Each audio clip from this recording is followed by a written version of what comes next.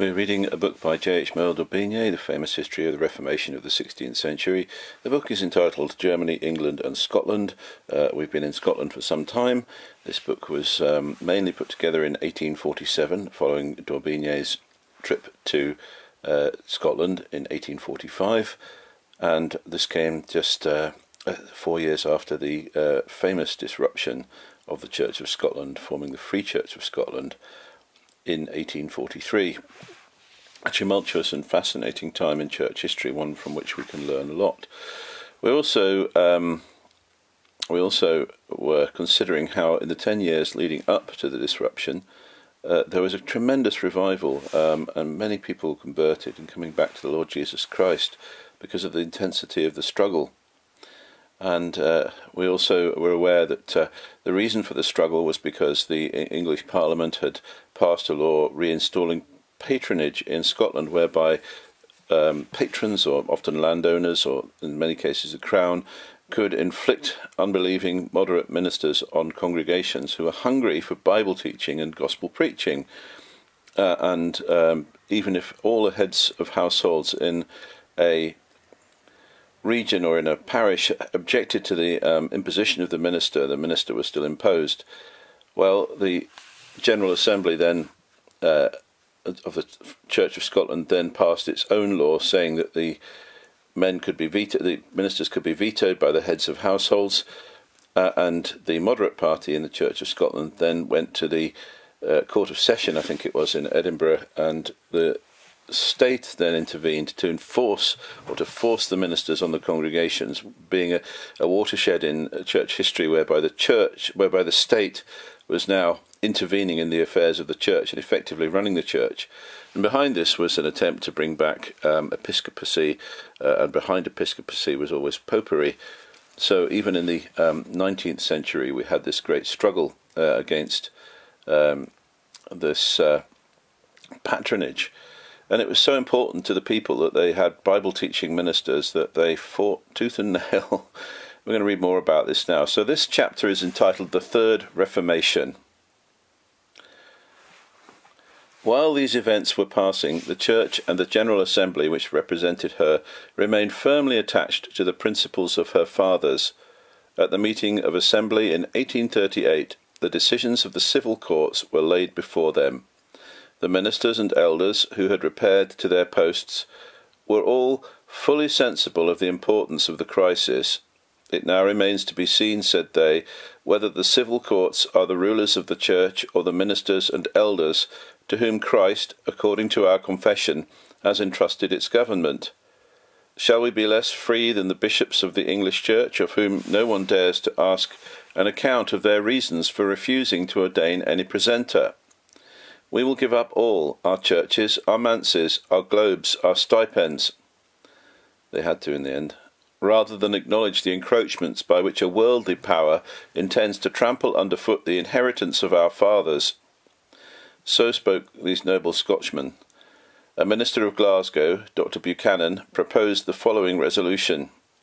The General Assembly, while they unqualifiedly acknowledge the exclusive jurisdiction of the civil courts in regard to the civil rights and emoluments secured by law to the Church, and will, it has been called in Scotland, the March. Okay, yeah. Ever give and inculcate implicit obedience to their decisions in such matters, so they acknowledge the civil authority in civil matters do resolve that, as is declared in the confession of faith of this national established church, the Lord Jesus Christ, as King and head of the church, hath therein appointed a government in the hand of church officers distinct from the civil magistrate, and that in all matters touching the doctrine, government, and discipline of the church, her judica- judicatories possess an exclusive jurisdiction founded on the Word of God, which power ecclesiastical flows immediately from God and the mediator, and its spiritual, not having a temporal head on earth, but only Christ, the only spiritual King and Governor of his church. And they do further resolve that this spiritual jurisdiction and the sole headship of the Lord Jesus Christ, on which it depends, they will assert and at all hazards defend by the help and blessing of God. Thus Scotland beheld the fulfilment of this promise. He shall turn the heart of the children to their fathers. Malachi 4 verse 6. And the Church, again taking her stand upon that ancient rock, once defended by her martyrs, prepared to await with faith and courage the shock of the winds, the floods, and the tempest. This resolution only passed by a majority of 41. The national enthusiasm in this serious struggle was still increasing. I mean, I was reading the book, The Annals of the Disruption, and um, ministers were creeping around Scotland in disguise in order to preach, because if they got caught, they would be um, effectively um, uh, put out of the ministry. Um, so people would invite them, and they would come in the quiet of night, and they would be disguised, and nobody would um, recognise them on the road. Uh, and then they would show up and preach the gospel of Jesus Christ. But it was a really, it was um, the, the the struggle was intense, and many people suffered the loss of their livelihood as a result of this struggle, especially at the time of the disruption because they love the Lord Jesus Christ and they put him first. For example, I was living in Aberdeen when I read the book The Annals of Disruption, uh, and I was living in a place called Woodside, and I was reading about the mills of Woodside, the cotton mills of Woodside, where down by the River Don, um, and where the mill girls came out with the Free Church of Scotland because they loved the Lord Jesus Christ, and they suffered tremendous persecution because of their adherence to the gospel. Nothing quite right like reading a, um, a serious Christian history book where at the place where the events described it happened. Anyway, the national enthusiasm in this serious struggle was still increasing. The people, both in towns and in the country, especially in the Highlands, were zealous for the cause of independence, but most of the nobility were in favour of patronage. The Marquis of Breadalbane was then almost alone in following the generous footsteps of the ancient Earls of London and Sutherland. Petitions signed by 260,000 of the most pious of Scotland's sons demanded the maintenance of the constitution of the Church of their fathers. Few were indifferent, all were either for or against it, and the ferment was general. I'd like to recommend um, a uh, reading from the book Annals of the Disruption, which I put up on sermon audio. It's entitled When the Church Has to Meet in the Open Air, and it's fascinating. When the Church Has to Meet in the Open Air on sermon audio. The moderate party then displayed a decision which they had never shown since the time of Robertson.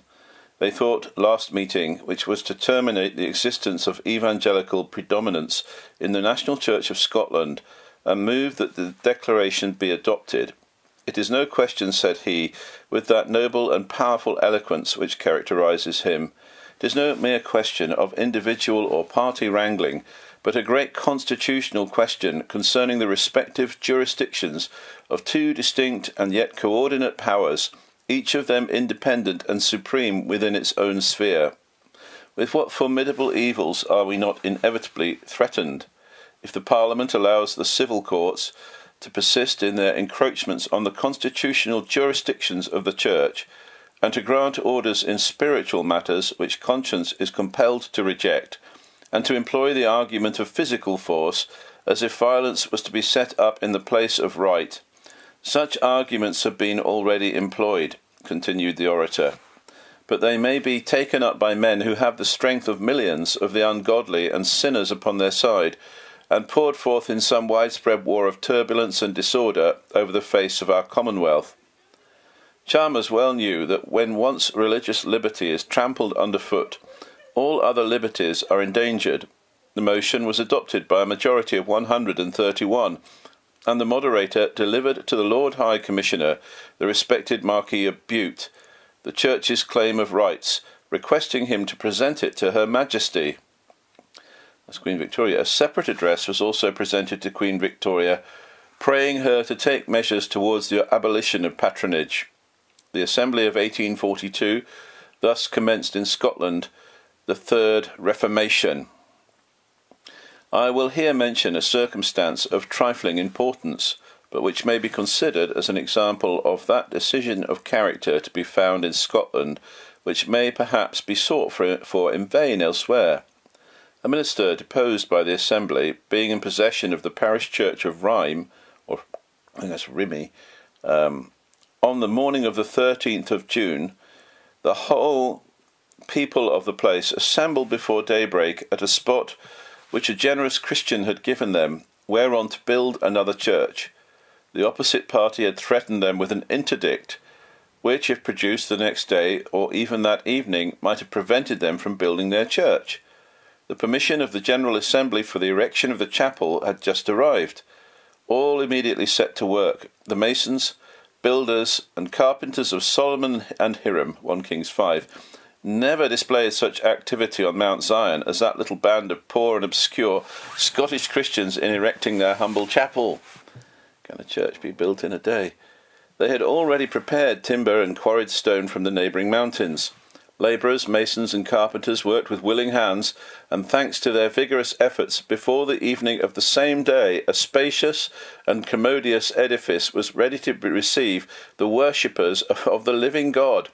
A church was built in one day because there was going to be a, a, um, something, uh, uh, uh, some kind of legal document the following day read out, which stopped them from building it. Praise God for that. And that just, that just shows you the determination in the Scottish people at that time. This was a symbol. When God's own time should arrive, the Free Church of Scotland, raised by the faith of a whole people, shall we say born out of fire, would also be set up in a day. Behold the day, behold it is come. Ezekiel 7, verse 10. All indeed now tended towards this. On the first week of July, in the mountains, valleys, villages, and towns of Scotland, Crowded meetings were held in different places. Clear and eloquent addresses enlightened the public mind upon the principles which the General Assembly had recently professed. Men's consciences were convinced, and enthusiastic applause manifested the adherence of the people. There was a great excitement in Scotland, an excitement of a legitimate character, which, far from infringing the laws, claimed as a right the execution of the most solemn treaties struggles of the church and state. An important event now responded mournfully to this national movement and hurried the church towards her complete enfranchisement. The House of Lords was to pronounce a final decision between the civil courts and the General Assembly. The anxious looks of Scotland were fixed upon the proceedings of this tribunal. So England was deciding Scotland's fate. There was little hope I think that's how it was. On the one hand, how was it to be expected that a court, with the majority of which was composed of English and Irish lords, should comprehend a Scottish question, which seemed difficult even to many of the Scotch themselves? Yet, on the other hand, might it not be hoped that these powerful lords, whose judgments ought to be formed on so elevated a standard, would rise above those clouds which obscure the sight of men who look from below? Would not this High Court remember the illegal act passed by its predecessors in 1712 and endeavour to make amends for it? It was not the case of Marnoch and Strathbogie, but that of Auchterarder and Mr. Young, which was then brought before the House of Lords. He was a man inflicted on the congregation despite huge opposition uh, inflicted by the patron. The presbytery, the majority of which was composed of evangelical ministers and elders, had refused to ordain, ordain Mr. Young, who was objected to by almost all the communicants of the parish. But that church had, at the same time, awarded the fruits of the benefice to the Lord Patron. Nevertheless, Mr. Young brought an action for damages against the ministers and elders of the presbytery for having refused him, notwithstanding the decision of the civil courts, that ordination of which the word of God says, lay hands suddenly on no man. Imagine taking somebody to court because they won't ordain you. Absurd. 1 Timothy 5:22 The House of Lords and especially the Lord Chancellor and Lord Brougham whose opinions were changed in regard to the veto decided that for refusing to perform an act which should be the most unrestrained of any that can exist the consecration of a minister to the service of God the presbytery might be liable to an action for damages. On hearing this strange decision, so I'm a minister and I say I'm not going to ordain that man because he's not a godly man. And the courts say, right, that's it. You either ordain him or you face damages. On hearing this strange decision, the friends of the independence of the church were filled with consternation. What, said they, an assembly of ministers and elders may be condemned for refusing to perform a purely spiritual act, and may be fined for obeying the dictates of their conscience. Plus M shows the more things change, the more they stay the same. All ecclesiastical government and discipline are thus at once laid prostrate. Nay, there can be no longer any ecclesiastical courts, for the very essence of a court is its liberty to decide according to its own convictions.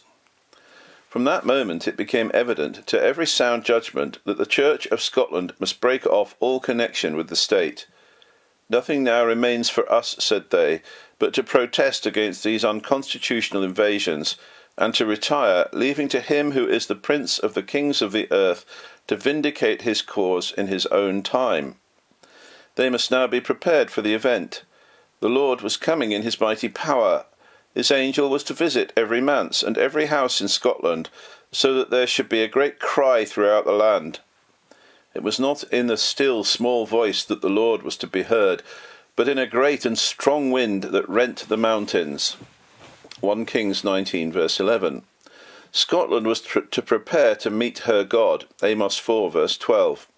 In the month of October, 32 of the oldest ministers of this noble church sent an address to those ministers who took the deepest interest in her liberties, inviting them to meet at Edinburgh on the 17th of November. A spirit of prayer and supplication was diffused throughout Scotland. Never, perhaps, had there been in the country of John Welsh that man of prayer, such fervent and general devotion as during the week preceding the convocation. Not only, it was said, are the liberties of the Church at stake, but the very existence of evangelical religion. Therefore, when these ministers had left their parishes, their flocks still continued their meetings for prayer. Even in the country villages, venerable patriarchs were to be found, who, remembering what, that Christ has made his people a nation of priests, called publicly on the name of the Lord.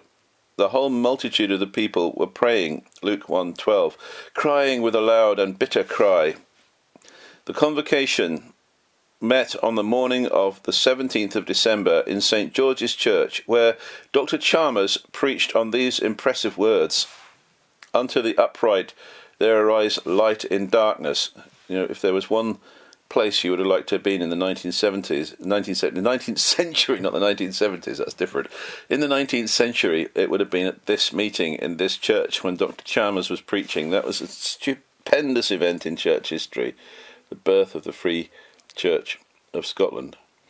On the evening of the same day, the deliberations, also presided over by Chalmers, commenced in another church.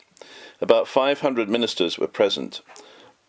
All agreed in acknowledging that the decisions of the civil courts were subversive of the constitution of the church and would shortly lead to its destruction.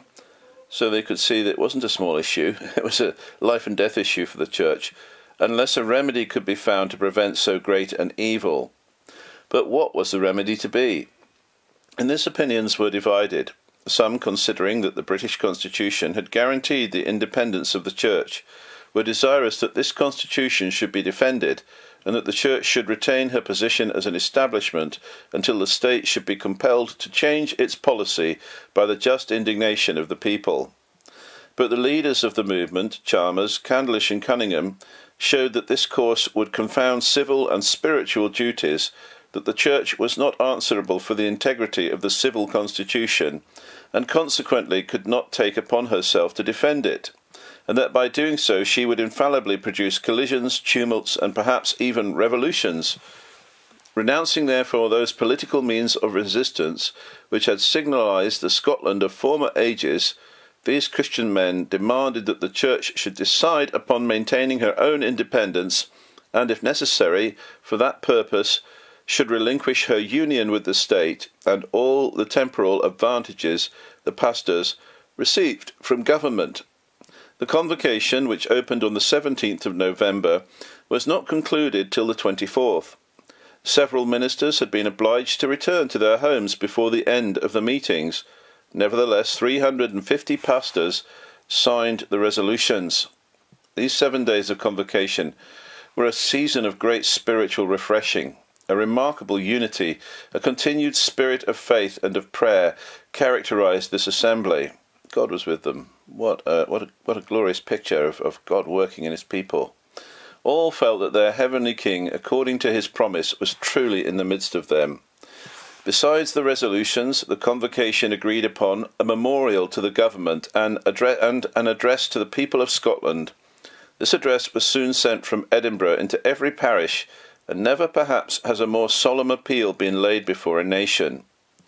The former struggles which we have recounted, with the testimonies of Knox, Melville, Welsh, Erskine, and of so many more confessors, were eloquently recalled recalled, the Church of Scotland, said these ministers, has been honoured to contend not more for the doctrine of the Redeemer's cross than for the honour of his crown. And this constitutes her peculiar distinction amongst the churches of the Reformation. That's true. Down through the centuries, the Scottish um, Church had been called to to contend again and again for the uh, headship and the crown of Christ Jesus, the, the Lord Jesus Christ, Christ's crown and covenant. These words contain an important truth. What are the passages in your national history, they afterwards continue, which you read with the most thrilling interest, and which you would wish to be engraven on the minds of your children? What are the scenes in your land of mountain and flood on which you gaze with feelings too deep for utterance? Are they not the passages which record the faithful con- con- contendings of your forefathers for a pure gospel and a free church? Are they not the scenes where many of them lie buried as martyrs in the cause of civil and religious freedom? They won by their blood the privileges which you are called to maintain by your efforts and prayers. And would you willingly have it said by posterity that you relinquished without a struggle the birthright of your children? Or that in the calm and sunshine of outward prosperity you suffered that noble vessel to go down, which was reared in the tempest and rocked by the hurricane. Think of the Covenanting era. Thus did the ministers of the Convocation address their people. What Scottish heart could remain unmoved? Yet, though the House of Lords had decided, the voice of the government still remained to be heard. Would it not weigh more justly the great constitutional rights on which they were to decide? It happened otherwise, the government, after receiving the memorial of the last commission, returned to an answer which annihilated all the hopes of the church. An answer polite, most certainly through imprudent, though imprudent, in which combining what the commission had purposely kept separate. I'm just thinking about during this COVID crisis and churches being closed, and some men stood up and said, the state doesn't have the right to close the churches. That is God's right alone. The claim of rights regarding the spiritual independence of the Church as guaranteed by the Constitution and the address concerning patronage, the British minister declared that he was obliged to reject both petitions in order to defend, defend the privileges of the patrons. At the same time, he accused the Church of attacking the rights of the state, whereas the General Assembly was justly conscious of having triumphantly refuted so unfound an accusation. Perhaps, however, this misunderstanding of the government might have been expected. The English ministry, accustomed to the forms of the Episcopal Church, in which the flocks have no voice, influenced by the speeches of the Scottish nobles and patrons, who were both judges and parties in the cause, and finding as much difficulty in putting themselves in the place of those beyond the Tweed as of those beyond St. George's Channel, could scarcely avoid mistakes. Besides this, the Crown, ever since the Act of Queen Anne, had set far too high a value upon the right of nominating the ministers of more than 300 parishes, and could not understand that to secure the attachment of a people like the Scotch, it would be much the better way to allow them a share in church matters, and thus encourage the development of Christianity, than by reserving the right of appointing to a benefice some insignificant person recommended by a noble lord. The adversaries of the Scottish movement likewise represented it in London as an affair of little importance, but it caused a constitutional crisis in the end. for the sake of which it was not worth while to sacrifice advantages they valued so highly. All this may explain how such a distinguished statesman as Sir James Graham could commit so great a fault. It is the greatest with which the Peel ministry can be reproached, but it is at the same time one of those of which the victim may say, Ye thought evil against me, but God meant it unto good. Genesis 1:20. According to the English ministry, and this is even yet the judgment of many good men in England, the Church, having infringed the law by the Veto Act, the encroachments of the civil courts that ensued were simply a necessary and a natural reaction against the usurpations of the Church. Here, in fact, lay the difficulty of the affair, and with some little intelligence, which certainly was not wanting, and a little patience, it might have been easily unravelled but it appears that instead of taking the trouble to untie the knot, the government preferred having recourse to the sword of Alexander, even supposing the veto to be an act opposed to the constitution of the United Kingdom, which we do not think it was, the English government might have declined to recognise it, or might have demanded some modification. The Church had declared her willingness to do so, and had stated this in her address to the people of Scotland. The government might even have required the withdrawal of the Act. Uh, many of the most eminent men of the Church would have agreed to do so in a spirit of conciliation at the same time, without sacrificing the principle itself.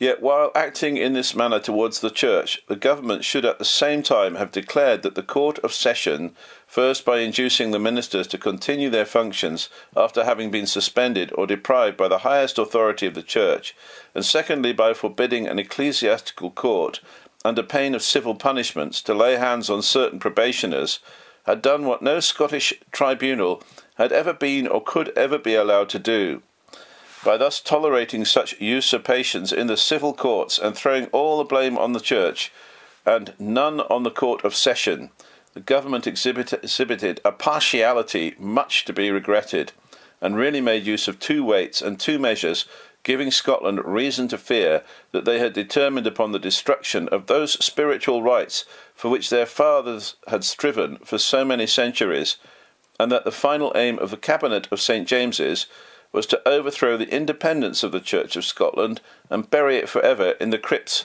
of the Home Office. I'm sure they seem to be doing that today with the Church as well. Or at least some of us feel that. The Commission of the General Assembly again met. At the same time, decided upon an answer to the Government and a petition to the House of Commons, the only one of the three powers which had not yet declared itself in a most eloquent speech, Chalmers asserted that the evangelical body must inevitably be driven from the establishment and should consequently prepare without delay for this serious event. Come when it may, said he, Scotland must not be taken by surprise and laid helpless and hopeless at the feet of her enemies. Scotland must become an experimental garden covered with churches and with schools. I mean, that's some vision, but the ten years um, before this, the um, all the support for it, um, all the support for it came about. If you read Annals of Disruption, you hear about how they built so many churches and the struggles and difficulties they had. Even the setting up of, a, a, of the Iron Church, which was floating um, on a barge in one of the locks. This appeal of the Venerable Patriarch of Scotland, as well responded to, Numerous meetings of elders, in concert with the evangelical ministers, founded a provisional committee to provide for the approaching crisis. Everything was prepared for the support of the pastors and the erection of churches, and deputations were sent throughout the country, commissioned to explain to the people the great principles for the defence of which the bark of the church was about to launch into a dangerous sea, and to sustain the terrible collision of the vessel of the state. The response of the people was instantaneous and the deputations were everywhere enthusiastically welcomed. The martyr spirit is yet alive in Scotland, said the deputies on their return. Scotland's heart is still as sound as ever, maybe never sounder. Associations formed all over the kingdom entered into correspondence with the Provisional Committee at Edinburgh. This committee issued weekly communications, copies of which were sent to the provisional associations to the number of 150,000. This mighty activity is one of the finest features of the Scottish character. The House of Commons had not yet decided, and the cause of Scottish liberty was to find within its walls several zealous and eloquent defenders. The son of one of the Scottish peers, the Honourable Fox Maule, now Secretary at War, that's 1847, having presented to the House the petition of the Commission, clearly stated the question of the 7th of the March, and the motion was eloquently defended by Mr. Rutherford, Mr. P. M. Stewart, Mr. Campbell of Monies, an English member who has now, has now succeeded Sir James Graham in the Home Department. Sir George Grey supported it with generosity and calmness, but it was opposed by Sir James Graham and Sir Robert Peel. Of the Scottish members of the House, there were 25 for the motion and only 12 against it. Scotland was thus in favour of the liberties of the Presbyterian Church, but the English and Irish formed a majority who voted in a contrary direction. The motion was rejected by 211 against 76. Well, those were bishops from the Church of England, weren't they? So voted. No, that's sorry. That's the House of Commons, not the House of Lords. So voted the House of Commons. All was now over. The three powers had decided. All human tribunals had now closed their ears against the complaint of the Church. Everything seemed to say to her, like the prophet, Set thy house in order, for thou shalt die. Isaiah 38. But there remained a refuge for the people of God within her. There remained for them an appeal to the heavenly tribunal, to the judgment seat of him who skillet and mark it alive who bring her down to the grave and bring her up. 1 Samuel 2 6, I think that's Scott's. From this time all hearts were raised to heaven, and all eyes were turned to the General Assembly, which was to meet in the month of May, and the government party made every effort in order that members favourable to the decisions of the civil courts should form a majority in it. The motive of such endeavours is evident if the evangelical party should be stronger in the assembly, the church would then, by the decision of her highest authority, formally renounce her union with the state, and the moderates would be obliged to create a new church, which they wished all means to avoid. The party opposed to ecclesiastical independence obtained their desired object, not, however, it would appear, without some illegal encroachments. There were also a few ministers who, when the time of trial came, were offended when the trumpet called to battle, the courage of several cooled and their hearts turned aside from the conflict.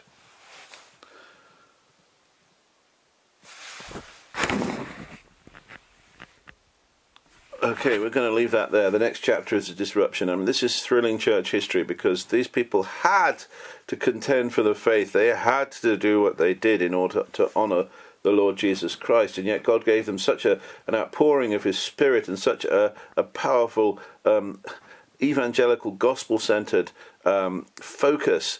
Uh, this was a mighty revival that took place in Scotland. Now, I seem to have um, got confused there with which meeting it was with Thomas Chalmers. That must have been the 1842 meeting assembly. Um, the disruption was at the 1843 assembly, and we're going to read about that next. We're reading the book uh, Germany, England and Scotland by uh, J.H. Merle d'Aubigné, a Swiss minister who is converted under the teaching of Robert Haldane, a Scottish nobleman, um, in Geneva. Uh, and we've come to the disruption of the Church of Scotland in 1843. Uh, this is a glorious episode in Scottish church history. Um, it, the, it was a result of patronage. It was a result of the uh, encro- in, in, in, encroachment upon the church and the church government by uh, secular courts. Uh, and uh, as we read in the last chapter, or as we heard in the last chapter, most especially the um, uh, now the uh, House of Commons and House of Lords in England, so that so that English politicians were deciding, and even English bishops were deciding um, what should happen in the Scottish Church, and their decision was that the uh, church should be uh, submit to the law of the land and should do what she was told, i.e., patronage, which was a great offence to people who longed for evangelical ministers to teach them the word of God and declare the gospel to them. Now, uh, I have this uh, book which I might well serialise in future called The Annals of the Disruption, and it shows that there was uh, not only was a tremendous number of people in Scotland at that time who left the Church of Scotland to form new churches, but they had a tremendous struggle both in the 10 years leading up to the disruption and also in the time after when they had to um, build new churches, and very often they were severely persecuted. Many, um, for example, who worked on estates in Scotland um, lost their jobs and lost their livelihoods, for example. So this was by no means a sacrifice or a cause or a struggle without victims, without persecution, and without su- suffering. And yet it was a glorious outpouring of the Holy Spirit. So let's read and study and think about the disruption of 1843. Now, I said last time, but I meant this that if there was one meeting in the 19th century that I would like to have attended, it would have been this meeting when Thomas Chalmers led the newly formed Free Church of Scotland out of the Assembly of the Church of Scotland. So, chapter 7 The Disruption. A great dilemma was now set before the ministers and members of the Church of Scotland.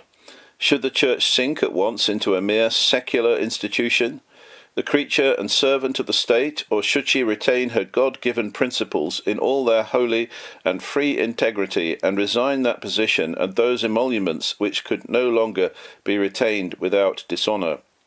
It was thought by many worldly people that most of those who had spoken so loudly for the independence of the Church would fail at the last moment the hour was approaching when the question would be resolved.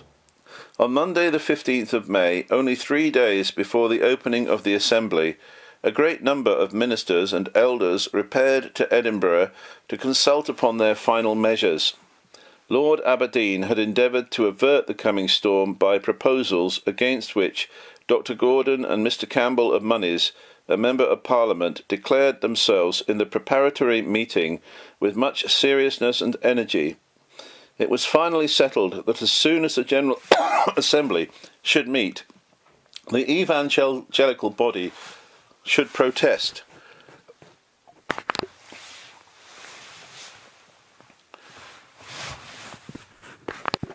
And then retire to form themselves into a distinct assembly Mr. Dunlop was entrusted with the drawing up of the protest.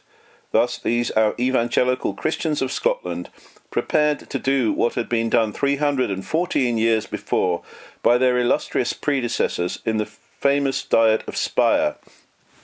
That's when the word Protestant came about, when uh, what happened in the Diet of um, Speyer.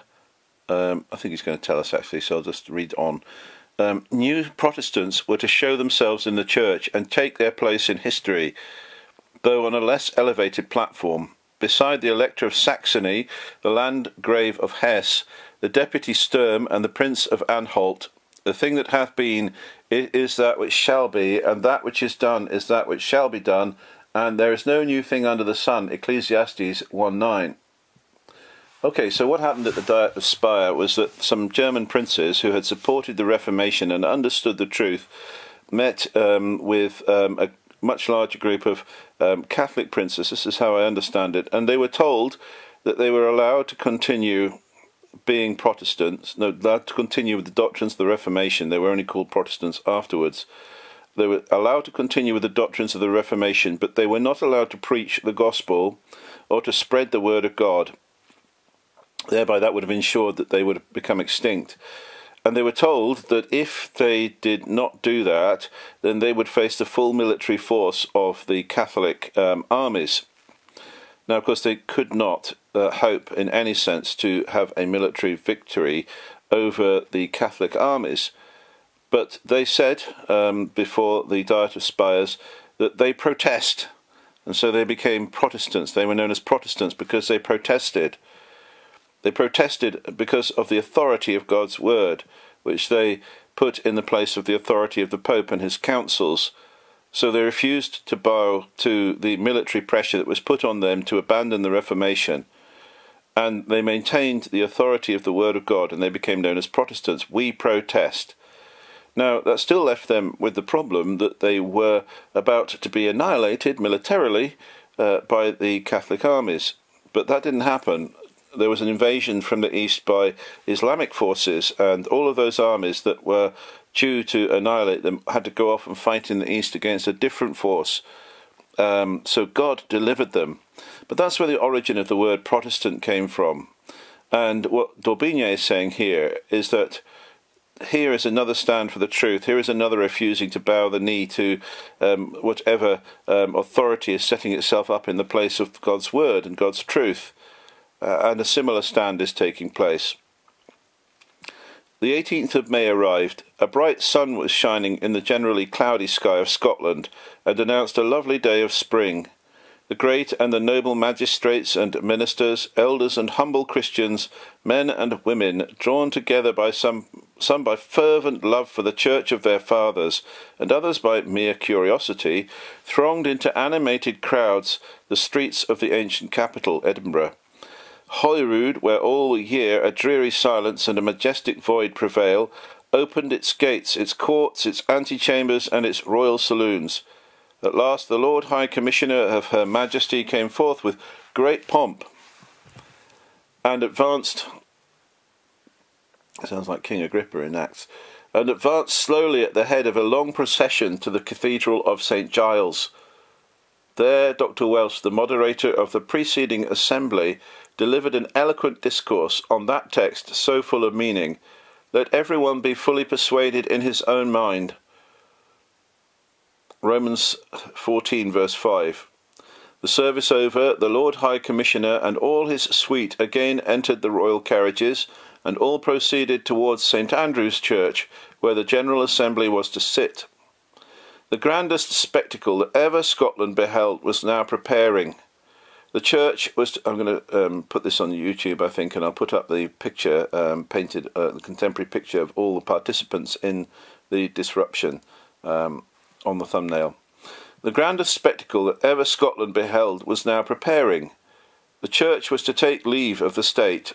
The two societies were to give each other the bill of divorcement. The multitude everywhere, eager after, after excitement, but which then in Edinburgh was in a great measure agitated by the noblest feelings, crowded and jostled each other in the streets between the two churches of St Giles and St Andrews a considerable body of policemen could with difficulty open a passage through the crowd for the Queen's representative. At length, the brilliant procession passed along, and then those sons of Scotland, who had looked with almost an indifferent eye upon this splendour, were thrilled on beholding the humble representatives of the oppressed church advancing on foot. Reminds me of Luther going into the Diet of Worms anxious yet grave and determined, preparing to bear testimony before the great ones of the nation, and as it were in the presence of the whole church of Christ. This frail bark, which continued a few poor but faithful, which contained a few but poor but faithful disciples, but where Christ was in the hinder part of the ship, asleep on a pillow, Mark 4 verse 38, moved onward through the multitude, and the agitated waves, having opened for its passage, immediately closed behind it. From an early hour in the morning, the galleries of St Andrew's Church were filled with a crowd of spectators who had passed many weary hours in expectation. Suddenly, a noise and bustle without announced that the moment was at hand. The measured tramp of slowly advancing steeds, the sounds of martial music, the cheers of the people heralded the arrival of the Queen's representative he entered and took his seat on the throne, surrounded by his pages and officers. The members of assembly entered after him and took their places in the body of the church, some on the right hand, others on the left. On the evangelical side there was serious looks, grave faces, and that awed and solemn countenance which characterizes men engaged in a sacred and perilous work. On the side of the moderates, an embarrassed and foreboding look was to be observed, with the consciousness that the victory now to be won would prove in reality a great defeat to the Church. The moderator, David Welsh, whom God has now taken to his heavenly home, opened the meeting with a fervent prayer. Then a pause ensued. No one spoke, no one stirred. All was silent and motionless. Thousands of anxious hearts were waiting in expectation, and every man seemed to hold his breath, as in fear of losing one of the words that were now to be uttered in this sacred place and to decide the destiny of the Church of God. The moderator then took up the protest which had been prepared and gravely pronounced the following words amidst the most profound and solemn silence. According to the usual form of procedure, this is the time for making up the roll. But in consequence of certain proceedings affecting our rights and privileges, proceedings which have been sanctioned by Her Majesty's Government and by the legislature of the country, and more especially in respect that there has been an infringement on the liberties of our Constitution, so that we could not now constitute this court without a violation of the terms of the union between church and state in this land, as now authoritatively de- declared, I must pro- protest against our proceeding further. The reasons that have led me to this conclusion are fully set forth in the document which I hold in my hand, and which, with permission of the House, I shall now proceed to read. He then read the protest. We, the undersigned ministers and elders, chosen as commissioners to the General Assembly of the Church of Scotland, indicted to meet this day, but precluded from holding the said assembly by reason of the circumstances hereinafter set forth, in consequence of which a free assembly of the Church of Scotland, in accordance with the laws and constitutions of the said church, cannot at this time be holden. Considering that the legislature by their rejection of the claim of right adopted by the last General Assembly of the said Church and their refusal to give redress and protection against the jurisdiction assumed, and the coercion of late repeatedly attempted to be exercised over the courts of the Church in matters spiritual by the civil courts, have recognized and fixed the conditions of the Church establishment as henceforward to subsist in Scotland to be such as these as have pronounced and declared by the said civil courts in their several recent decisions in regard to matters spiritual and ecclesiastical, whereby it has been held inter alia, first, that the courts of the Church by law established, and members thereof, are liable to be coerced by the civil courts in the exercise of their spiritual functions. Remember, they've been told that if they didn't ordain the ungodly men to the pulpit, they could be sued and fined um, and could be liable um, to damages. Uh, a horrible implica- a horrible intrusion by the, the state into the church, and in particular in the admission to the office of the holy ministry and the constitution of the past- pastoral relation, and that they are subject to be compelled to intrude ministers on reclaiming congregations in opposition to the fundamental principles of the church and their views of the word of God and to the liberties of Christ's people. Second, the said civil courts have power to interfere with and interdict the preaching of the gospel and administration of ordinances as authorized and enjoined by the church courts of the establishment. Third, that the said civil courts have power to suspend spiritual censures pronounced by the church courts of the establishment against ministers and probationers of the church, and to interdict their execution as to spiritual effects functions, and privileges. Fourth, that the said civil courts have power to reduce and set aside the sentences of the church courts of the establishment, deposing ministers from the office of the holy ministry, and depriving probationers of their license to preach the gospel, with reference to the spiritual status, functions, and privileges of such ministers and probationers, restoring them to the spiritual office and status of which the church courts had deprived them. Fifth, that the said civil courts have power to determine on the right to sit as members of the supreme and other judic- judicatories of the Church by law established, and to issue interdicts against sitting and voting therein, irrespective of the judgment and determination of the said judicatories. Sixth, that the said civil courts have power to supersede the majority of a church court of the establishment in regard to the exercise of its spiritual functions as a church court, and to authorize the minor- minority to exercise the said functions in opposition to the court itself and to the superior judicatories of the establishment. Seventh, said civil courts have power to say processes of discipline pending before courts of the church by law established and to interdict such courts from proceeding therein. Now imagine you had a, a humble Baptist church somewhere in England, uh, an independent church, and every decision um, made by the elders could be overruled by the House of Commons or the Prime Minister or the House of Lords. Um, that, uh, that that that would be a horrible intrusion. Um, But here we have a whole country's churches um, where the civil courts have taken upon themselves the right to decide all matters of church discipline. Eighth, that no pastor of a congregation can be admitted into the church courts of the establishment and allowed to rule as well as to teach agreeably to the institution of the office by the head of the church, that's Jesus, nor to sit in any of the judicatories of the church, inferior or supreme, and that no additional provision can be made for the exercise of spiritual discipline among the members of the church, though not affecting any patrimonial interests, and no alteration introduced in the state of pastoral superintendence and spiritual discipline in any parish, without the sanction of a civil court. All which jurisdiction and power on the part of the said civil courts, severally above specified, Whatever proceeding may have given occasion to its exercise is, in our opinion, in itself inconsistent with Christian liberty, and with the authority which the head of the Church hath conferred on the Church alone.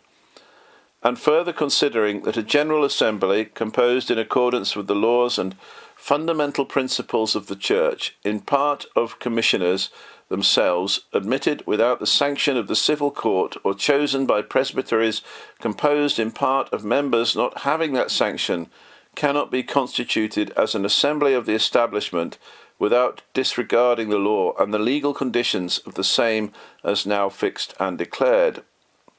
And further considering that such commissioners as aforesaid would, as members of an assembly of the establishment, be liable to be interdicted from exercising their functions and to be subjected to civil coercion at the instance of any individual having interest who might apply to the civil courts for that purpose.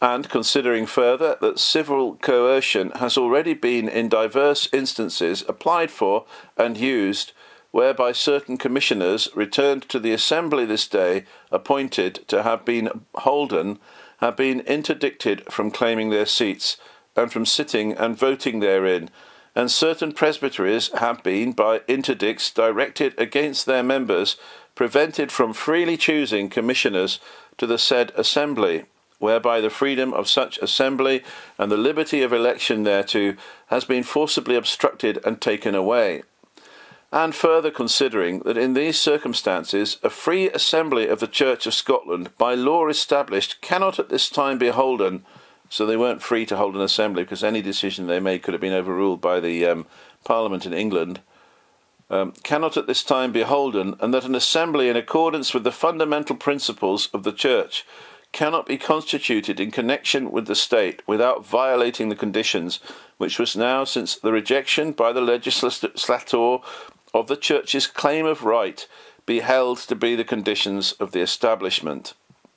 After considering that, while heretofore, as members of Church judica, judica, judicatories, ratified by law and recognized by the Constitution of the Kingdom, we held ourselves entitled and bound to exercise and maintain the jurisdiction vested in those judicatories with the sanction of the Constitution, with that notwithstanding the decrees as to matters spiritual and ecclesiastical of the civil courts, because we could not see that the state had required submission thereto as a condition of the establishment, but on the contrary were satisfied that the state, by the acts of the Parliament of Scotland, for ever and unalterably secured to this nation by the Treaty of Union, had repudiated repudiated any power in the civil courts to pronounce such decrees we are now constrained to acknowledge it to be the mind and will of the state, as recently declared, that such submission should and does form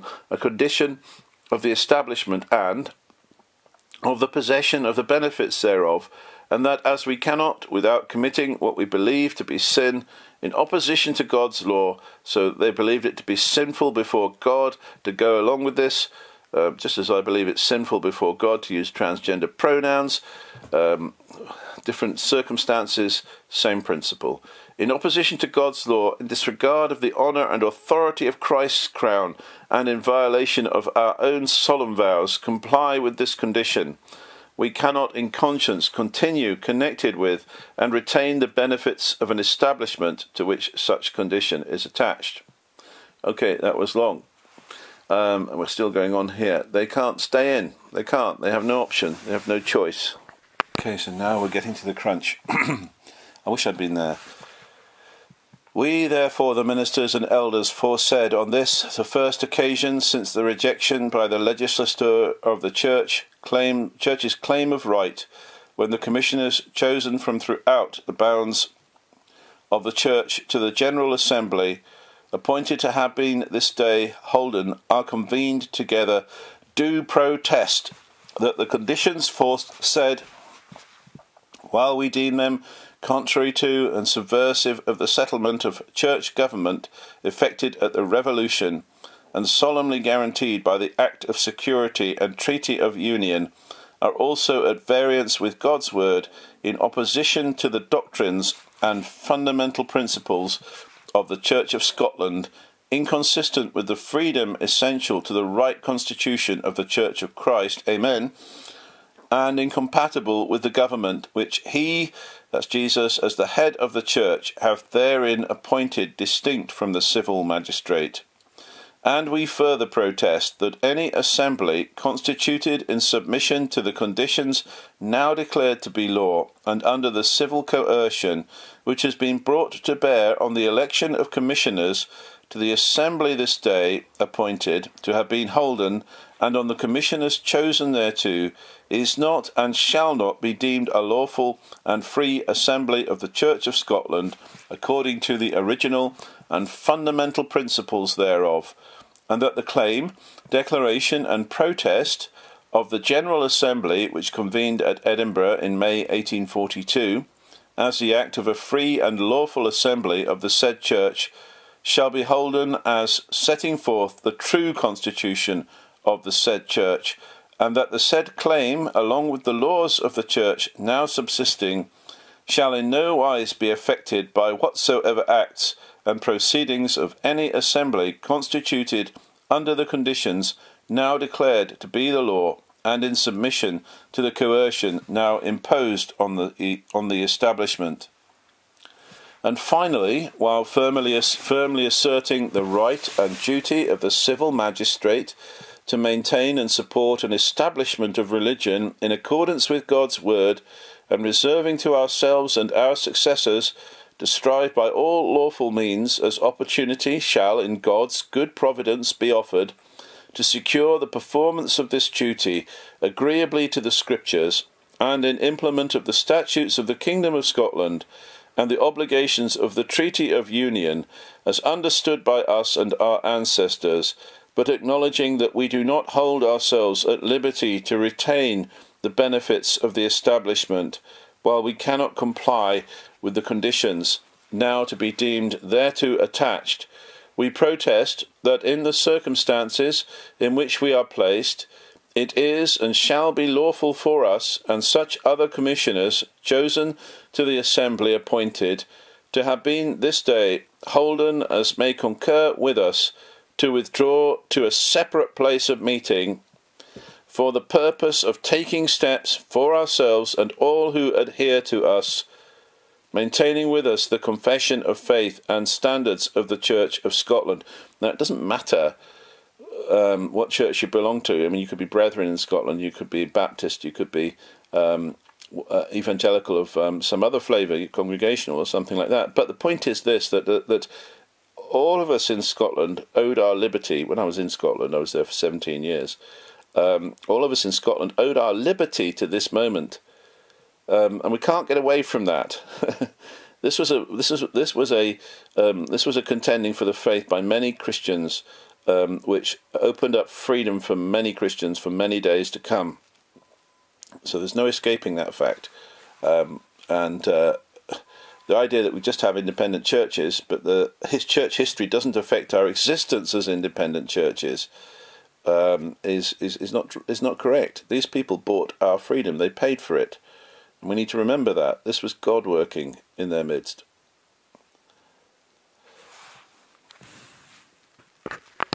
For the, so, yes, we are to withdraw to a separate place of meeting for the purpose of taking steps for ourselves and all who adhere to us, maintaining with us the confession of faith and standards of the Church of Scotland as heretofore understood, for separating in an orderly way from the establishment, and thereupon adopting such measures as may be competent to us in humble dependence on God's grace and the aid of the Holy Spirit for the advancement of His glory, the extension of the gospel of our Lord and Saviour, and the administration of the affairs of Christ's house, according to His holy word.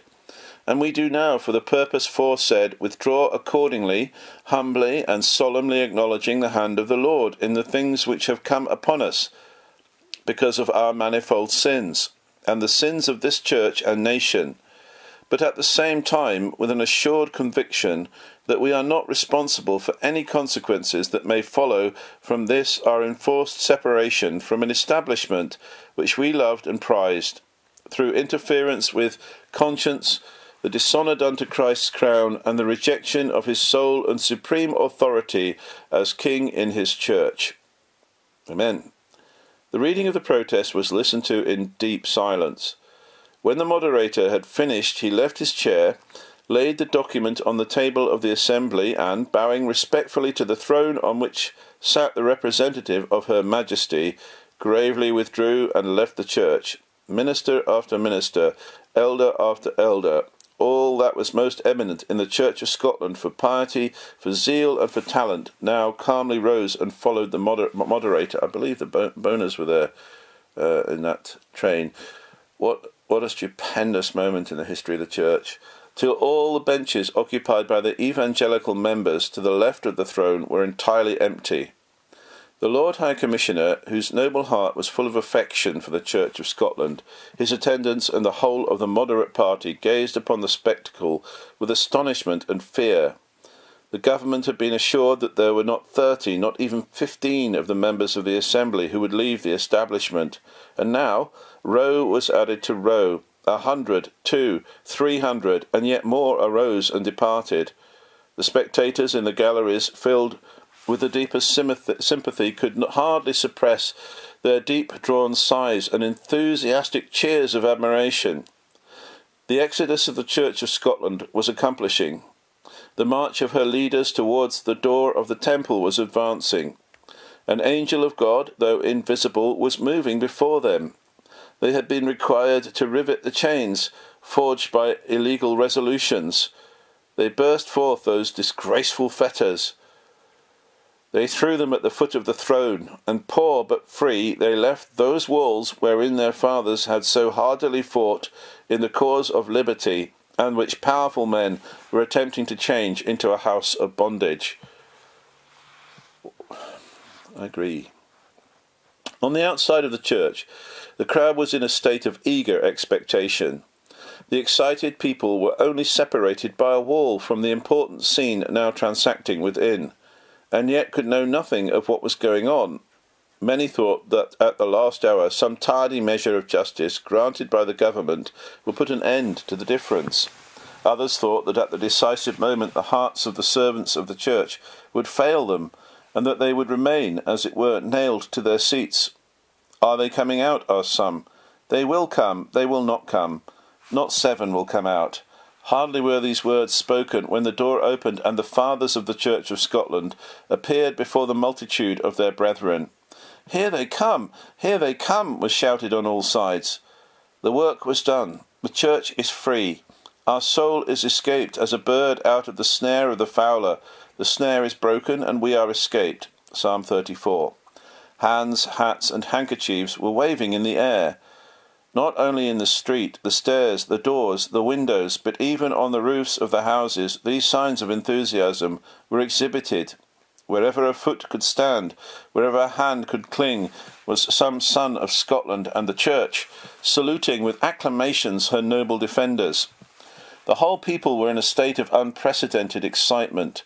A shout, not loud and piercing, but a shout half suppressed by deep emotion, a shout proceeding from the depths of the heart, resounded in the streets of the metropolis.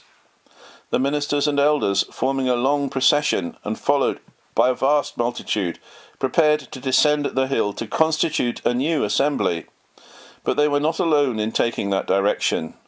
Deputations from the Presbyterian churches of America, Ireland, and England, and from the Scottish seceders had come, according to custom, to present to the assembly their fraternal salutations. These deputations had to examine which of the two assemblies represented the Church of Scotland. All of them, without hesitation, turned from the national pomp of St Andrews and followed the humble footsteps of the protesting church. The Irish Presbyterians themselves, though supported by the English government, were not held back by the fear of seeing their regime d'homme un imperiled. Regium donum um, mm, um. This is a witness from without which has never been retracted. We'll come to the Free Church in the next reading. This is a very important episode in church history, uh, uh, and the Free Church, um, uh, like all churches, had her failings and uh, had her ups and downs. But uh, in 1987, I first um, visited the the Outer Hebrides, uh, the island of Lewis, and um, that's where I first came across the Free Church myself, being an Englishman, a medical student in Manchester at the time. And I attended the Free Church of Scotland in Stornoway, where um, a well known minister, a mighty preacher of God's Word, Murdo Alec, ministered, uh, Murdo Alec MacLeod ministered. And the only thing I can say is that that church and that ministry did me good. Uh, we are reading uh, a book called Germany, England, and Scotland, uh, which was um, produced in 1847, 1848 by uh, J.H. Merle the famous historian of the Reformation, a man from a pastor from Geneva, converted under the uh, Bible teaching on Romans by Robert Haldane. You can get the um, commentary on Romans by Haldane, still in pub print, I think. And anyway, we, we, we were looking at the disruption of the Church of Scotland, and we read about the General Assembly where hundreds of people came out from the Church of Scotland and marched from one church to the other. A most important episode in church history a most important time when the people of God were standing for the freedom of the church from state control, um, believing and asserting quite rightly that Jesus Christ is the head of his own church. So I don't think any of us can really un, uh, overestimate the value of the importance of the disruption. It's of relevance to us all, as I say, even if we were Baptists or um, brethren or whatever we were in Scotland today. Um, I'm no longer living in Scotland, but I was for some time. But um, we would owe our freedom to this event. So this chapter, which might be the last, is sometimes hard to tell with a Kindle reading because um, I'm on 87% and sometimes it finishes at about 90 and there's lots of ads and things like that. Sometimes it goes on to the end. But um, this chapter, which uh, it deals with the events following the disruption is called the Free Church, the Free Church of Scotland. Now, the Free Church of Scotland is a church that's done me good. I first came across them in 1987, and then again in 1989, and then again in 1997 onwards.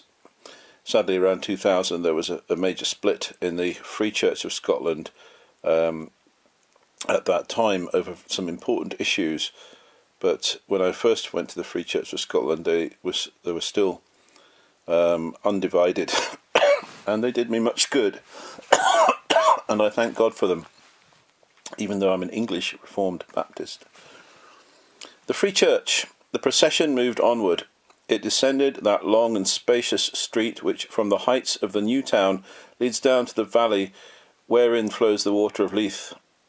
The immense concourse that filled the street was so closely wedged together that it seemed impossible for the ministers to make way through it. There were neither policemen nor soldiers to force a passage, but another, more powerful, more sublime agent, a feeling of respect, of admiration, and of love, was at hand to move these masses.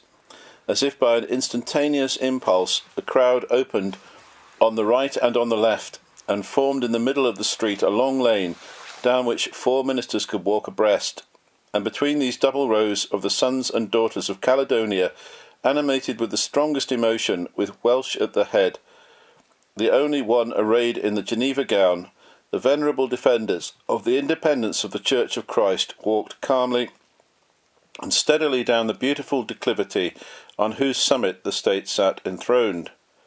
The vast and plain hall of Tanfield, the Canonmills, in which two years afterwards I myself saw the General Assembly had been prepared for the protesters, More than 3,000 Christians were awaiting them there. Welsh opened the meeting with a solemn prayer in which he gave thanks to God for the strength afforded by His Spirit to His servants in the hour of trial. During this prayer, sobs were audible, and the most manly faces were bathed in tears. When it ended, the whole multitude stood up to sing the praises of the Lord. The first hymn of the Free Church arose to heaven, and the angel of the covenant offered it before the throne of God. Revelation 8 3. On the motion of Dr. Welsh, Dr. Chalmers was chosen by acclamation the first moderator of the Free Protesting Church of Scotland. Chalmers, in his opening speech, recalled the principles on which the step had then taken had been founded. The Assembly received as members all the ministers who had signed the protest, and an elder from each parish. Everything was then prepared for signing the deed of demission. This act was read in the Assembly on Wednesday, the 2nd of May. All other business was suspended, that every heart might be solemnly devoted to the Lord. The roll was then called the ministers and elders arose by tens, moved to the platform behind the moderator's chair, and there, with steady hearts and hands, signed the act by which, for the cause of Christ, they renounced all their worldly goods and their position in society. Many of them sacrificed all they had, even all their living. The amount of the revenue was more than a hundred thousand pounds, which these brethren joyfully relinquished for the sake of him who has said, Every one that hath forsaken houses, or brethren, or sisters, or father, or mother, or wife, or children, or lands for my name's sake, shall receive an hundredfold, and shall inherit everlasting life. Matthew 19:29. Hundred thousand pounds was, of course, a lot of money in 1843. No one swerved. Young and old alike traced with a determined hand the few strokes which signed away their all. The execution of this act occupied five hours, and during that time the assembly remained in silent emotion, watching with respect the devotedness of its leaders. 474 ministers resigned their benefices, either then or shortly afterwards. About 2,000 elders adhered to the act. Both numbers united formed the majority of the office bearers of the church. The majority of the church members in full communion was also ranged on the side of, ranged on the side of liberty. Such was the disruption and the creation of the Free Church of Scotland. But the sacrifice then accomplished in the hall of Tanfield was not the greatest. Was not the greatest. The ministers had to return to the mountains, to the plains, even to the remotest shores of Scotland, to bring their wives and children from their homes. There was, they paid a very heavy price for coming out of the Church of Scotland. One should not underestimate the price they paid or the suffering they endured. The hour was at hand when Jesus was to say in every manse, If any man will come after me, let him deny himself and take up his cross and follow me. Matthew 16:24. Hundreds in Scotland were then fulfilling this Christian duty and taking the cross upon their shoulders, were ready to exclaim, Lord, here am I. How many scenes were then enacted, enacting enough to break the hardest heart? In a certain part of the country, two ministers were conversing a short time before the disruption. Do you think there is no chance of a settlement? said the minister of the place to his friend. We are as certain of being out as that the sun will rise tomorrow, replied the other. A groan was heard. It came from the very heart of the mother of the family. They had had many trials in their day. There had been cradles and coffins in their home, and the place was endeared to the mother by many associations. There was not a flower or a shrub or a tree that was not dear to her. Some of them were planted by the hands of those who were in their graves. And that poor woman's heart was like to burst. But grace was mightier than nature, and when the day of trial arrived, she came forth as readily as her husband, although it was breaking her very heartstrings to leave a home where she had expected to breathe her last, and to be laid in the churchyard among the ashes of her children in another instance, there was a venerable mother in Christ who had gone to the place in the days of her youth when it was a wilderness, but who with her husband had turned it into an Eden. Her husband had died there. Her son now was the minister.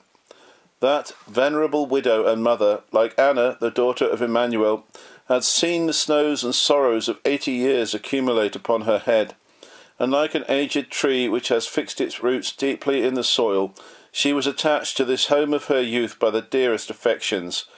All her anxieties, her prayers to God, were for two things either that the church should come to a right settlement with the state, or if that should fail, that then her son should do his duty.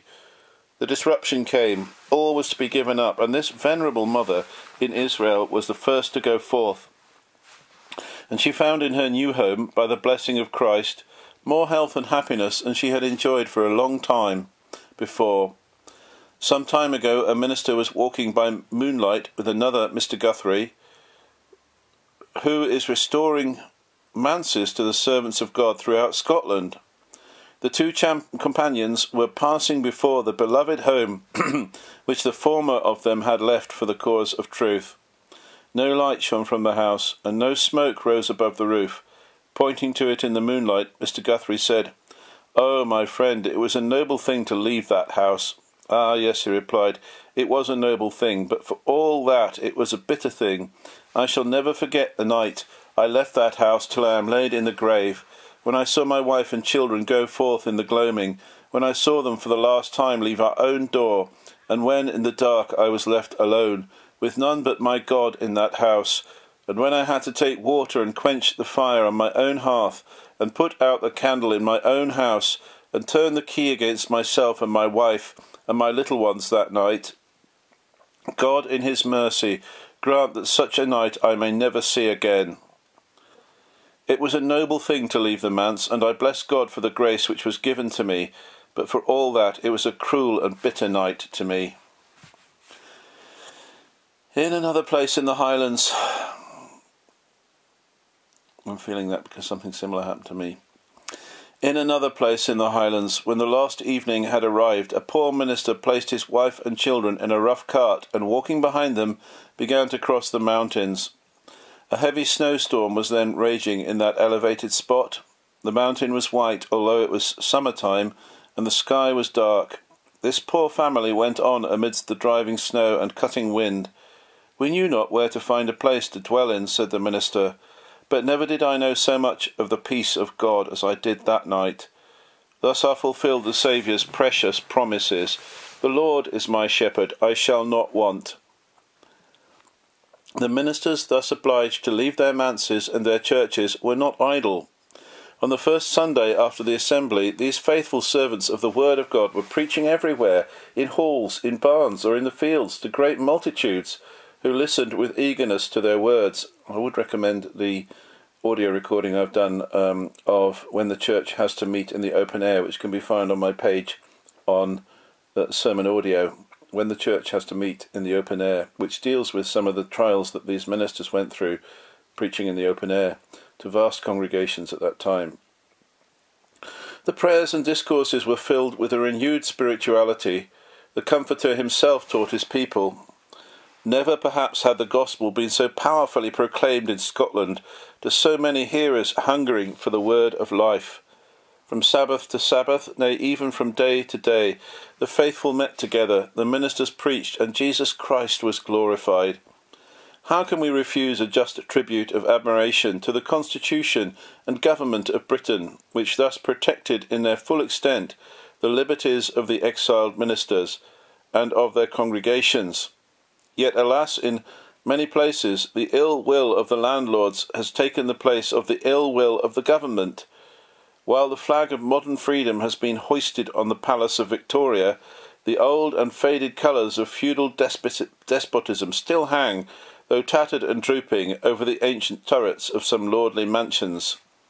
At Canonbie, Canonbie, the free Christians, driven by the landlord from a wasteland where they had at first assembled, removed to the high road and turned it into a church. Imagine you were meeting on an A road or something like that. The only place that was public that they could meet was on the road. Of course, there weren't motor cars or lorries in those days, um, but um, this was a disgrace, and it became a national disgrace in the end, um, and led to a change in the law um, allowing them to build churches.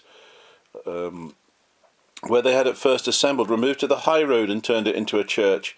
At Wanlockhead, the congregation consisting of 274 communicants met in a wild ravine. There's a wonderful picture of the Wanlockhead um, meeting in adverse weather. Um, if you go, go into sermon audio, you look at documents attached to my page. There's one document which contains pictures of the disruption uh, from um, hand drawn pictures of the events surrounding the disruption. Um, which um, is, is, is on my sermon audio page. Um, and uh, one of those pictures is of people going through intensely vile weather in order to worship God in a wild ravine at Wanlockhead. Amid rugged mountains, 500 yards from the village, at Torquay in the island of Mull, a gravel pit served for a temple. At Dunghill, in which there were a thousand adherents of the Free Church, they met in a wood of Scotch firs situated in a hollow, and not, not only at the first, but up to this very hour, because it's only um, four years afterwards, three years afterwards, seven, three, yeah, four years afterwards that he's um, writing this. Even during the last severe and tempestuous winter, women, children, and aged men of the above mentioned churches, and many others besides, have had no other shelter than the arch of heaven. Pray that your flight may not be in winter, said Jesus. Yet one season after another, the same distresses have afflicted our brethren, and that not under the mild sky of Palestine, but in the icy atmosphere of Caledonia, and the days are not yet shortened. In many places they preached on the sands of the shore, in the place left free by the retiring tide, and which belongs to no one but the ocean. For once, more kind and generous than man. In another place, in a deep gully, where the cliffs are some hundred feet high, a hollow has been closed in from the sea by a barrier of rocks down a precipice where Claverhouse himself would not have sought his victims. And there a minister with his congregation has raised his voice to heaven during two years. The waves of the Atlantic roaring around them have afforded them a shelter which their haughty landlords, reclining softly in their London palaces, have dared to deny them. For the elect's sake, may the Lord shorten those days. Mark 13, verse 20. The ministers were often but little better lodged during the week than their flocks were at the hour of worship during the Lord's day. One minister and his family were so straitened for accommodation that when they would unite in their family devotions, they had not every room to kneel in their miserable dwelling, even room to kneel in their miserable dwelling. Some ministers live in places as damp as cellars, where a candle will not burn, one is obliged to sit all day with his greatcoat on. Another sees the curtains of his bed shake at night, like the sails of a ship in a storm. A third took refuge in a house open to every wind of heaven. On getting up one morning, he wondered to find it more comfortable than usual, and looking up, he discovered that a heavy shower of snow had fallen and stopped up all the crevices of the roof. The Lord thus makes the snow his minister to shelter his servants. Yet though the bush was burning, it was not consumed. Nec tamen consumebatur is the motto of the Free Church, uh, and I think that probably means it was not consumed, and they use a picture of the burning bush. While these things were in progress, immense efforts were making by the evangelical people of Scotland. True, it might be said, not many mighty, not many noble were among them. 1 Corinthians 1.26 farmers, artisans, shopkeepers, and small proprietors, all of them living by labour and obliged to use great economy. These, with a few rich merchants and two or three noblemen, formed the Free Church of Scotland.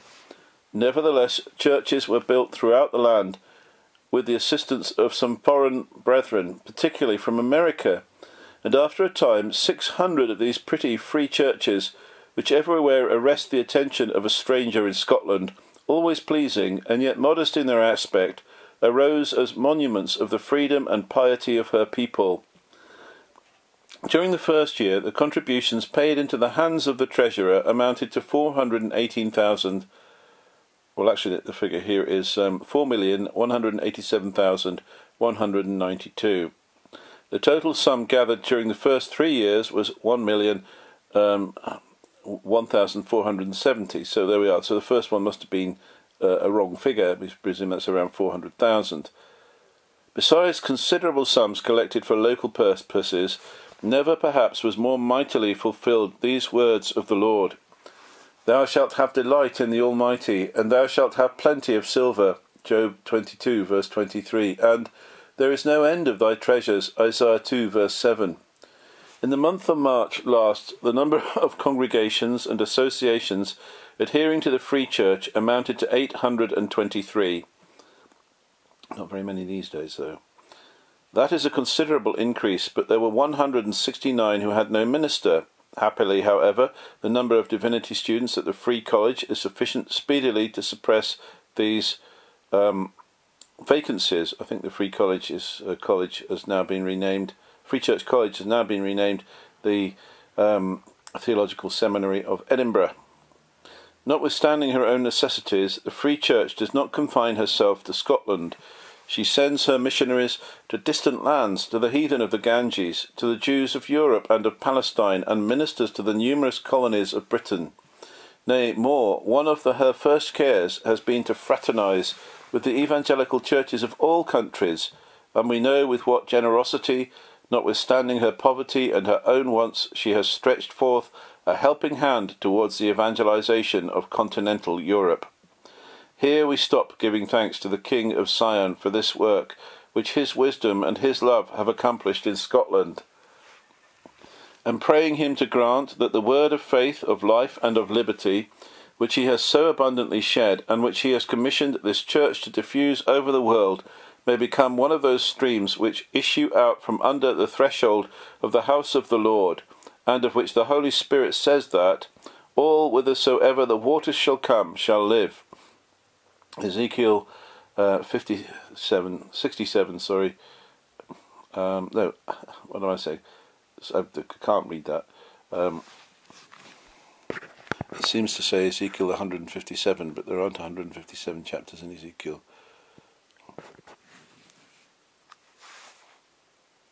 One day, a few months since, in the north of Scotland, a traveller was at the foot of Benmore Assynt, near the Lake of Assynt, which stretches its waters for fourteen miles among the most romantic mountains. The traveller was contemplating the castle of Macleod, whose ancient walls rise close by the side of the lake. There, said he, is the place where the Marquis of Montrose, an old renegade and apostate, met uh, with a renegade's fate. He betrayed the cause of truth, and was himself betrayed into the hands of those who executed him in Edinburgh. But another building attracted, attracted his attention still more the parish church, overshadowed by two trees which grew in the churchyard, and were the only ones he had seen in two or three days' travelling. He asked some persons who were standing by how many people attended the church. The reply was, The minister attends, and his wife attends, and two or three servants, and the parochial schoolmaster. You do not mean to say that these are all, said he. Why? was the answer. There is not a body, not a body, not a body more. In fact, the whole congregation had joined the Free Church. The traveller then went into the churchyard, but there was no sign of a road into the church. It was all overgrown with grass. On looking through the window, he saw the seats and pews all covered with dust. Nowhere could he perceive the marks of human hands except in the pulpit and the minister's seat. I saw it with my own eyes, said he. All this congregation had left the walls where their fathers worshipped, rather than not be steadfast in their struggles and their trials. Then the traveller, Mr. Guthrie, raising his eyes to the mountains that lifted up their lofty heads far above him, exclaimed, How vain is the expectation of our enemies! Never will they succeed in breaking down the free church. She will stand there as firm as her own naked mountains, and that powerful Lord, who is master of this country, from the one sea to the other, may as soon remove Benmore Assynt as he will weaken the attachment of our people to our cause and our freedom. Well, alas, today the, the, the, churches in Scotland, the evangelical churches, and the gospel voice in Scotland is at a very, very low ebb. There is a remnant, but nothing more. We accept the omen. It is not the flock of a Assynt alone that stands firm as Benmore. It is the whole Free Church of Scotland, the whole assembly and church of the firstborn, spread over the wide world itself. Benmore may tremble. The Alps themselves may quake. Remember that D'Aubigné was from um, Geneva. And our own Mont Blanc, removed by the mighty hand which one day shall shake both the heavens and the earth, may bow its colossal head and fall into our lake. Lake Geneva. The mountains shall depart, and the hills be removed, but my kindness shall not depart from thee, neither shall the covenant of my peace be removed, saith the Lord that hath mercy on thee. Those of us who are listening to this, to this who are Christians, who know Jesus Christ, know the mercy of God and the certainty of his covenant of grace. But if there are promises of God, man also has his duties. The Church of Scotland has lately given proofs of mighty energy, fidelity to her divine chief, fidelity to her forefathers and to her martyrs, unshaken faith.